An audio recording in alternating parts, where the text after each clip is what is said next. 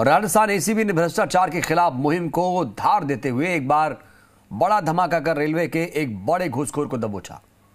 Kota rail मंडल का वरिष्ठ मंडल वाणिज्य प्रबंधक आईआरटीएस अधिकारी अजय पाल बीस हज़ार की घूस लेते गिरफ़्तार हुआ है। भरतपुर एसीबी एएसपी महेश मीणा के मुताबिक, भरतपुर स्टेशन के खान पान निरीक्षक हिमराज मीणा से चार्जशीट फ़ाइल करने के एवज में दलाल महेश शर्मा की मार्फत ये घूसखोर रिश्वत वसूल रहा था।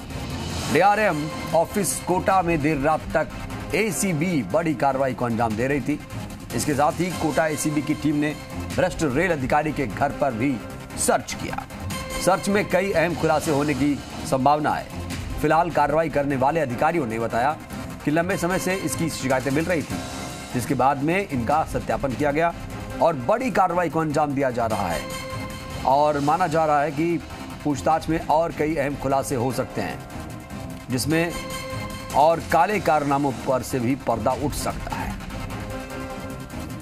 और ज़्यादा जानकारी के साथ हमारे संवाददाता हिमांशु मित्तल जुड़ रहे हैं। हिमांशु, ये कितनी बड़ी कामयाबी है? देखिए आपको बता दें कि निश्चित तौर पर कोटा रेलवे में इस वक्त हड़कंप है, क्योंकि ये जो अधिकारी ट्रैप हुए हैं रिश्वत देते हुए रंगे हाथों वरिष्ठ मंडल वाणिज्य प्रबंधक हैं आईआरटीएस है अलाइड आई आईएएस कहा जा सकता है। और निश्चित तौर पर जब इस स्तर के अधिकारी का पकड़े जाना इसके, इनके ऊपर कह सकते हैं कि मोटे तौर पर कोटा मंडल के अंदर जो कॉमर्शियल डिपार्टमेंट से रिलेटेड जितनी भी जो जिम्मेदारियाँ हैं, उनका संचालन ये कर रहे थे। और ऐसे में कह सकते हैं कि भ्रष्टाचार का जो खेल इस पद पर बैठ करके लंबे समय से कर रहे थे इसकी शिकायतें एसीबी को मिल रही थी।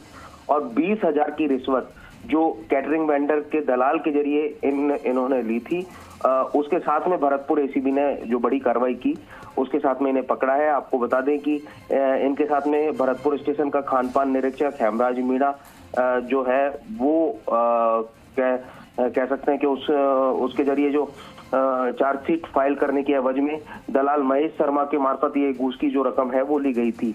आपको बता दें कि भरतपुर एसीबी के एसपी महेश मीणा ने बताया कि परिवादी जो हेमराज है खान पान निरीक्षक रेलवे स्टेशन भरतपुर ने इसको लेकर के उनतीस मार्च को शिकायत दी थी और जिसका सत्यापन किया गया सत्यापन बाद में ये पूरी की जो पूरी जो कार्रवाई है जिसे अंजाम दिया गया है। फ़िलहाल बताया है अब तक के इन्वेस्टिगेशन में कि लंबे समय से ये भ्रष्टाचार का खेल खेल रहा था। जो कोटा एसीबी के एडिशनल एसपी है चंद्रशील ठाकुर वो भी इस हाँ, कार्रवाई में देर रात पहुँचे। इनके घर पर ये पूरी टीम पहुँची। घर पर फ़िलहाल ये बिल्कुल ऐसे ऐसे अधिकारियों का बेनकाब होना बहुत ज़रूरी है।